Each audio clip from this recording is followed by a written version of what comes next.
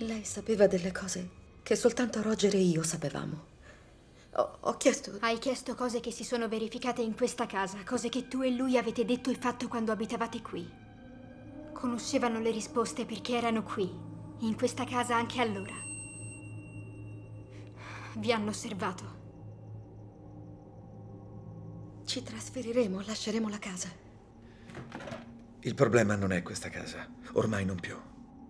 Ho chiamato l'arcidiocesi, il Vaticano dispone di persone che indagano su questi fenomeni. Chiederò di autorizzare un esorcismo. Shh, shh, no, non dica nient'altro. Loro ci hanno osservato per tutti questi anni. Hanno osservato tutto quello che facevamo. Vuol dire che ci stanno osservando anche ora.